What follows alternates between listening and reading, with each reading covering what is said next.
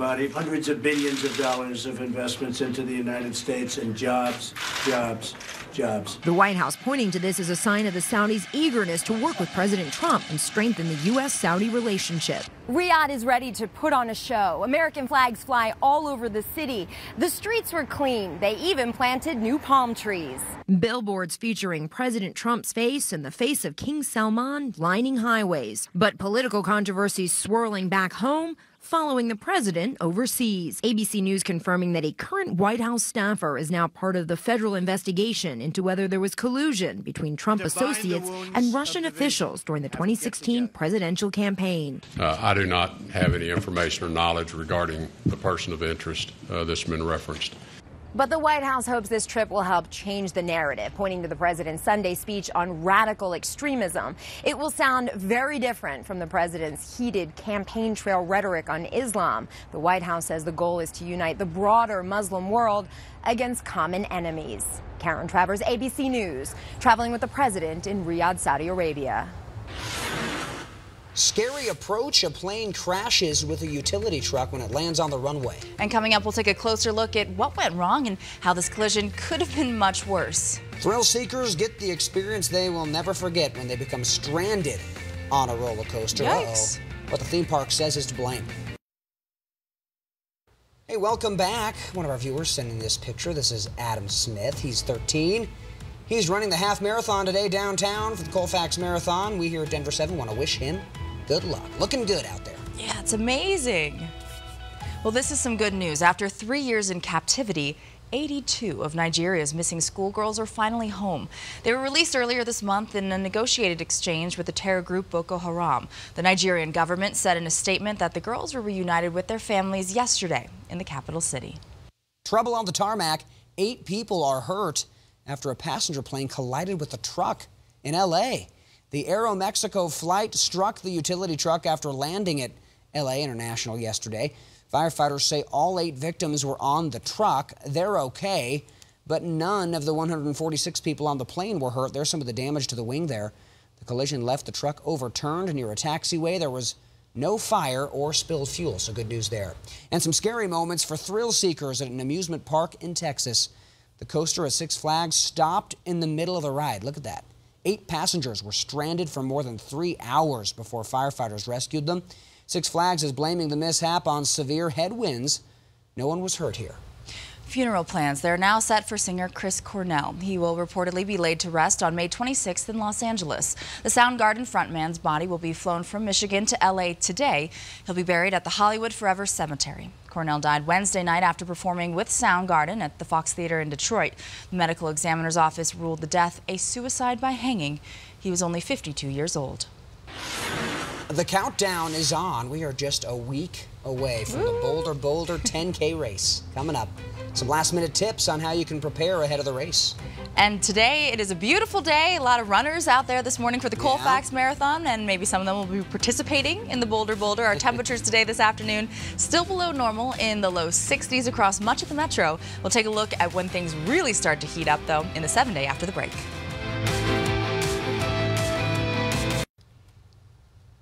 Well, can you believe it? We are one week away from the Boulder Boulder. And Denver 7, obviously a proud sponsor of what is hands down the best 10K race in the country. Sure, and this week we'll take you to the finish line to find out what you need to know before you cross the line. We are now one week away from the 39th annual Boulder Boulder. I'm standing right now on the finish line here at Folsom Field and joined with me Olympic gold medalist Frank Shorter. Frank, thanks so much for being here. Oh, thank you, Katie. This is one of the best, if not the best finish in road racing in the world. You get to come into Folsom Field. By the time you do, the, the stands are filling up with runners. Everyone's enjoying themselves. And, and, and the University of Colorado has been so wonderful over the years cooperating, partnering with us to, to allow this to happen. So we have been training really hard. We're ready to run this race next week. So what do people need to know to have the best race yet for them? Well, their number. Wear it on the front, wear it outside all of your clothing. It has a timing tag on the back. It will take your time at all the markers, the mile markers and the kilometer markers uh, around the course. And you know which wave you're in. It's indicated. running your wave. And if you move up a wave, because you may impede those runners, you're, you're ranked in your wave. So there's a reason if you move up a wave, you'll be disqualified. You can move back, but you can't move up. It's going to be really busy in Boulder on race day. What should people do in terms of transportation? Yeah, I try to take RTD if you can. There, there's all sorts of transportation available on RTD from many points uh, around the city. And go to boulderboulder.com to find out, or ride your bike. Ride your bike and, and be at the start there. And I've heard there's a consolation prize at the end of the race. Yes, you have to run with your ID. Even if you're 69, the way I am, you don't get the beer from Oskar Blues if you don't have your ID. Well, I got mine handy, so I'll definitely participating in that. Thank you so much, Frank. Oh, thanks. This is going to be great. I'm so excited. And to learn more about our nine-week trading plan, you can visit thedenverchannel.com, brought to you by Revolution Running. We're so close. We are. Can't believe it. And hopefully the weather will be like it is right now because it is nice. It, it is perfect for running outside because it's just cool enough. It's not too hot, but we have had those Boulder Boulder mm-hmm. days where it's sweltering. Oh, so Oh, we'll, we'll Yeah. wait and see because things are definitely going to heat up as we head into next week. Our seven day, we're looking at upper 70s, but let's just focus on today right now. Looking outside, it is an absolutely gorgeous start to our Sunday morning. This is looking out over City Park where there'll be a lot of activity through the day associated with the Colfax Marathon. Vail Village, we're under a mostly clear sky. Trees are green, snow is melting, and near Sterling, we're starting off with a mostly clear day. Our radar and satellite, though, we are showing a few showers down to the south 570, really quickly moving out of the area. So throughout the day today, across Colorado, we'll stay mostly dry for the first half, and then we'll start to see an increase in shower and thunderstorm activity. But our temperatures outside right now, already 46 degrees at City Park. Boulder now in the mid 40s. Lakewood still in the 30s, same in Arvada, but we'll quickly see those temperatures climb as we head into the afternoon. So a very pleasant day overall. By 11 o'clock, we'll be in the mid to upper 50s. Low 60s for our expected daytime highs today, but as you can see, right around 5 to 7 o'clock, we do have the chance for picking up a few scattered thunderstorms. In terms of the severity of those storms, we're not looking at real very severe thunderstorms, but still isolated at best, and the chance for a few light showers moving through. High temperatures for today will be in the upper 50s, low 60s, Eagle at 60, Steamboat slightly cooler at 53 degrees, and across the western slope in Grand Junction, 71, and down into Lamar, 74. Across the plains will also stay in the 60s.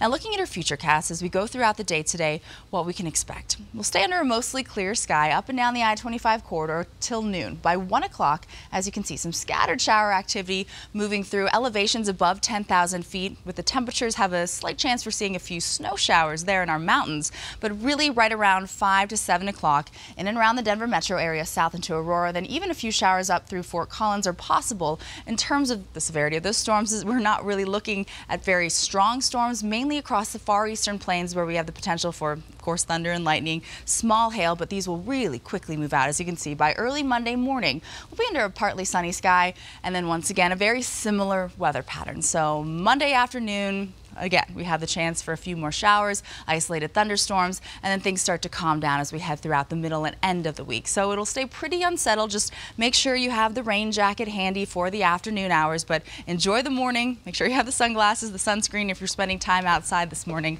Low temperatures tonight won't be quite as cold. We'll be in the low 40s.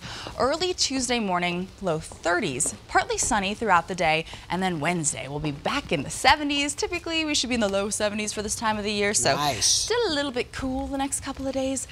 And then look, we're near 80 Thursday and Right. Friday. Chance for a few storms though Thursday as well. Look at that weekend. 77, 73. I'm excited. What was that move? That was a, a happy dance. Happy dance? but today's t- just as nice, I think. I know. Nice. All right, Kate. Thanks. hey, at 722, rescue crews tried to guide a humpback whale stuck in the Ventura Harbor in Southern California. Look here. The 35 footer was swimming in circles between docks yesterday afternoon. The whale wasn't hurt, just stuck. Good news this morning. He was guided out with the help of underwater sounds. How cool is that? On the hunt, DU lacrosse is making national headlines as it looks for a national championship. We'll take a closer look at the Pioneers in the field and their run toward history. Hey, good morning. Welcome to Denver 7 Sports Extra. I'm Allison Mastrangelo. The DU Pioneers taking on their Western rival Notre Dame in Long Island. The prize, a trip to championship weekend in Foxborough. Something head coach Bill Tierney and the Pios are hungry for. After losing the first round last year, second quarter, the Pios able to force a turnover, and Connor Cannizzaro in transition shoots a laser in the back of the net.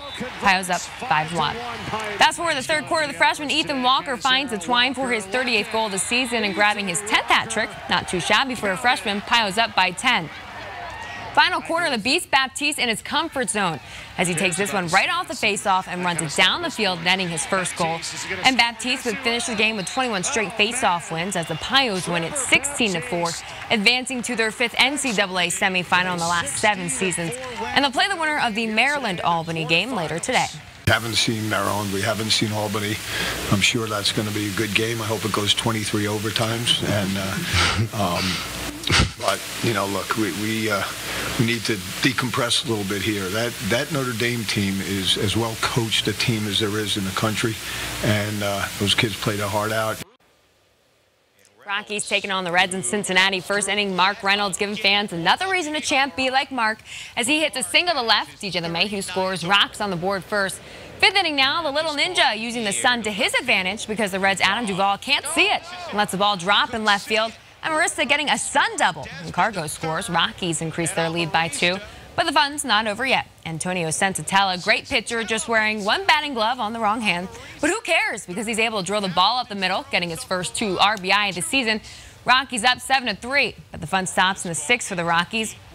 When the Reds' Scott Schebler launches a three run homer, the Reds taking back the lead from the Rockies, and the Reds win it 12 to 8. Now to one of my favorite places, the city of brotherly love. That's where the Rapids are taking on the Union. First half, Rapids moving the ball down the field. That's Caleb Calvert, surrounded by three defenders, finds a way to put the ball in the corner of the net. His first ever goal in Major League Soccer. But it'd be a different story in the second half. The Union tie the game up off a penalty kick. Then the Rapids started unraveling. Calvert gets a red card, making the Rapids play down the men. The remainder of the game, Tim Howard and the Rapids fall the Union 2 to 1. That's all for Sports Extra. I hope you go out and have a great day. A family thinks they lose a furry family member while on a road trip. Well, coming up, how a community band together to make sure a sly cat got home safe. And a student taking his love for learning to the next level, the amazing attendance streak that is inspiring others to go to class. It's 7:30. Spring storm watch. It's shaping up to be another great day. Here's a live look over the mountains and across the metro. It's a sunny day, but will it stay? Mm. Well, Vice President Mike Pence pays a very special visit to a survivor of a school shooting. How this unexpected student reacted to the memorable meeting. And you can help make sure our students have books to read over the summer where you can drop off donations and how you can get rewarded for helping those in need. It is 7:31. Thanks so much for being with us on this Sunday morning. It is a very nice start to our day and we'll gradually see our temperatures slightly warmer than yesterday, already warming up to 47 degrees downtown. A mix of sun and clouds and 47 out at the airport where winds relatively calm from the south southwest sustained at 6 miles per hour. Now our uh, Camera out at Loveland Ski Area. As you can see, we're under a partly to mostly clear sky in our high country, but we do have the chance of picking up a little more moisture as we head into the afternoon and evening hours. Temperatures, though, outside, it's a cool start to our day from Steamboat down through Gunnison. We're in the low 30s at our valley levels, 41 in Sterling, 42 in Greeley, and our high temperatures for today, slightly warmer than yesterday, will be in the low 60s across the Denver metro area. Highlands Rancher at 64 degrees, Boulder in the upper 50s, 40s and 50s into our mountains. But here's your first alert. This is one of the coolest days on our seven day forecast. Things are really going to start heating up as we head into the later portions of the week. Also, we'll take a look at where those storms will roll through later on this afternoon, coming up in just a few. Eric. All right, Katie, thanks. This is hard to believe. Every 40 seconds, someone in the U.S. has a stroke. Can you believe that? That's according to the National Stroke Administra uh, Association, rather. Today, survivors and their supporters are focusing on spreading stroke awareness. This is important. Registration for today's run and walk kicks off in just about 30 minutes. Denver 7's Amanda Del Castillo. She's live at Hudson Gardens with our look this morning. How are you? Good morning. Yeah, it's really coming together out here in Littleton. This is ahead of that comeback trail event. We already know that 350 people are already registered for this walk and run, and you could be a part of that if you get here at 8 this morning for registration. We want you to take a look at what's going on right now. They've got that beautiful balloon arch up. This was different from the last 30 minutes. But again, the run And the reason behind it is stroke awareness. Now, the National Stroke Association says nearly 7 million stroke survivors live in the U.S., and that number is supposed to increase to 10 million by 2030. The association also found 17 million people are affected by strokes globally, making it the second leading cause of death and a leading cause of disability worldwide. So if you want to get involved and be part of this supportive effort, you got to meet here at the Hudson Gardens in 30 minutes. Bring $25 to participate. We're going to be following all this development all morning long for you from sunny Littleton. Amanda Del Castillo, Denver 7. Sunny Littleton, I like that. With Memorial Day just over a week away, the community came together to honor Colorado veterans. Today was the end of the Thank You for My Freedom tour. 108 Colorado veterans who lost their lives in Iraq and Afghanistan were remembered at Lincoln Park in Denver. Governor John Hickenlooper says he will not be calling lawmakers back to the Capitol for a special session this spring. The governor had been considering a move as a way to get lawmakers to find more funding to fix roads and bridges across the state. On this weekend's Politics Unplugged, Marianne Goodland of the Colorado Independent tells Anne Trujillo that without legislative input, Colorado voters may be faced with at least two different ballot options. So people sitting at home are saying, all right, how are we going to get our roads fixed? I mean, they only allocated, what, 1.88 billion? That was, and that was in the hospital provider fee right. bill. But out of that 1.88 billion, only about 1.1 billion would have gone for CDOT's sort of master list of, of transportation projects. And that leaves him short over $2 billion. So in into the rescue comes the Independence Institute and the Colorado Contractors Association. And one of the reasons that, that we believe the governor wanted to have a special session, if, if he had taken that route, was to sort of head off these ballot measures at the pass. Ah. The Contractors Association and the Independence Institute both have their own ideas about how to fund transportation. The Independence Institute wants to do it with existing state revenues. The contractors want to do a sales tax similar to the proposal that was offered during the session. You can hear more of what Marianne told Anne about the decision to not call a special session today at 4 o'clock on Politics Unplugged. A school shooting survivor in Ohio met with Vice President Mike Pence yesterday. 17 year old Logan Cole was critically injured at West Liberty Salem High School in January. Cole met the VP after he spoke at an Air Force base near Dayton. Uh, I don't even know what to say about it. It's just amazing. It's overwhelming. Ah, what a smile on his face. The shooting in January left another student with minor injuries. The suspect, 17 year old Ely Ray Serna, is facing murder and other charges. Pence is on a three state tour this weekend that will also take him to Pennsylvania and Indiana. Imagine having a love for reading, but no books to read. For thousands of students in the metro area, that's a reality. With this book, like when you read it, you kind of like go into their world. And for students like Tony, we're collecting books for our third Books for Kids book drive. This year, you can drop off your donations at any Salvation Army store or at La Fogata restaurant. The books will be distributed to kids in need before school lets out for the summer. There's books on shelves across Denver that are just waiting to have a new life. Our kids can't wait to get their hands on them. And not only can your donation help others, but if you donate at the Salvation Army, you can get 40% off any purchases that day. And if you donate at La Fogata, you can get a free dessert. And if you have lunch or dinner at any of the three restaurants in the metro area on Monday, the owners will donate 20% of all proceeds from all food and non-alcoholic beverages sales to Books for Kids. We have to say it together. La oh. Fogata. I messed it up yesterday too. I, La Fogata. We got. I don't know. I don't know how we can remember it, but that's. But donate books. It's for a great that's cause, what, and you get a dessert. Exactly. But parents that get a real scare, actually, at an elementary school. We're talking about scabies, an outbreak that sweeps the campus. More on that. Yikes. What the superintendent says parents now need to know to prevent their kids from coming in contact with scabies.